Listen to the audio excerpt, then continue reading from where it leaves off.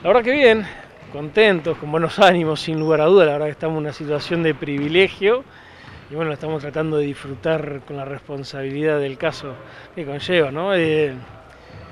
usamos los primeros días para recuperar soldados porque veníamos de, de 8 partidos en 15 días, lo cual tiene una carga y un desgaste físico muy importante, así que los primeros días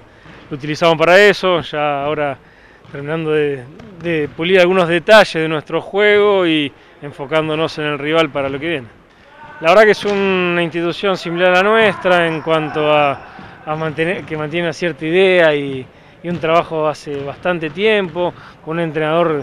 también que ha tenido un recorrido importante y bueno,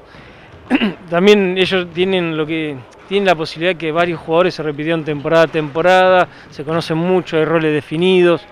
Yo creo que eso ha sido una virtud por lo cual lo llevó hoy a esta situación de poder definir el torneo. Yo creo que hubo una readaptación constante en primer lugar y bueno, eh, hemos sufrido la baja de dos jugadores importantes en nuestro equipo y de alguna manera suplimos eso sin lugar a duda con Bloso, y Lema e Isola también, que nos han dado un salto de calidad. Los jugadores que se fueron también, la calidad que tenían sin lugar a dudas es indudable, pero también hacían mucho al grupo y por eso hoy siguen también formando parte de, del grupo. Yo creo que por ahí esa readaptación constante eh, también se pudo dar por esa ausencia de egoísmo en el plantel y, y haber trabajado a lo largo de todo este tiempo generando un equipo lo más largo posible. Entonces,